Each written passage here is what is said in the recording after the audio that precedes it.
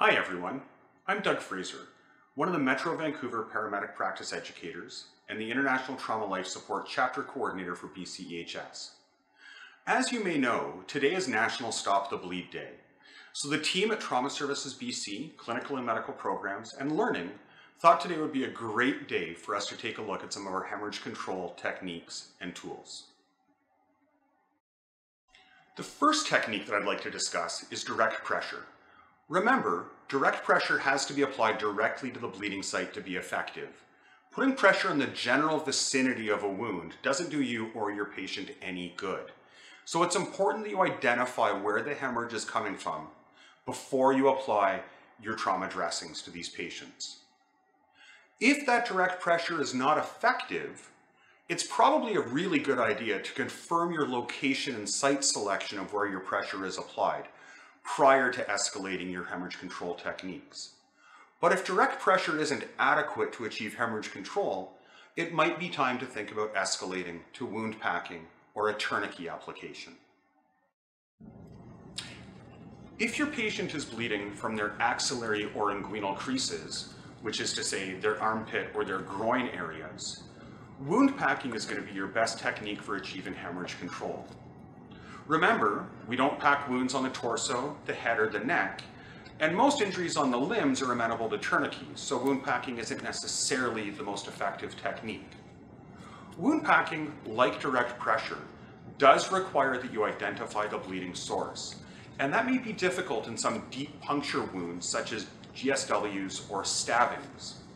But once you've identified the source of the hemorrhage, you'll be applying direct pressure to it using the wound packing material that comes in your Olaes trauma dressing. Remember that the pressure allows the clot to form and stabilize, and that that clot formation and stabilization can take some time, which means that once you've applied pressure onto that bleeding site, it must be sustained to definitive care for that patient. Tourniquet application is fairly straightforward. You want to ensure that you're at least two inches proximal to the wound, the hemorrhage site. You want to avoid placing the tourniquet over a joint, such as a wrist, an ankle, an elbow, or a knee. And you want to ensure that you've taken all of the slack out of the tourniquet band before engaging the windlass. If you can slip more than two fingers under your tourniquet band, you probably have too much slack in your system and you're going to need to take some of that up to be effective before engaging the windlass. Remember that you secure the Velcro back to itself, nice, tight, snug, ideally against the skin. Remember that you're turning the windlass until all bright bleeding stops. But sometimes that's not going to be effective.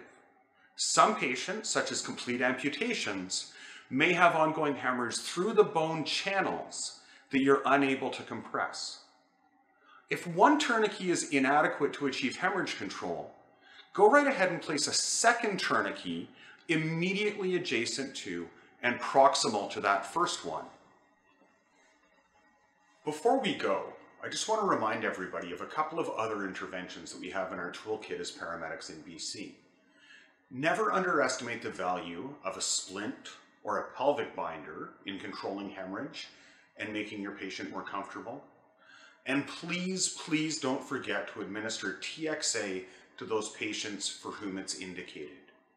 The effectiveness of TXA drops rapidly after the point of injury to effectively zero at three hours. But the biggest effect is had the earlier the medication is administered.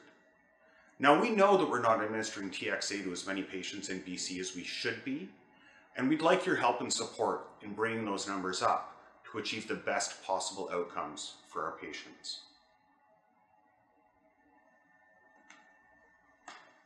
Trauma accounts for approximately 60% of BCEHS call volumes. And uncontrolled bleeding continues to be one of the leading causes of preventable deaths around the globe. Simple measures that we can take in the pre-hospital setting to limit or control that ongoing hemorrhage can have massive implications, both from the patient's perspective, but from a systems-wide perspective as well. Thank you very much for your time today, everybody. Have a great day. Stay safe.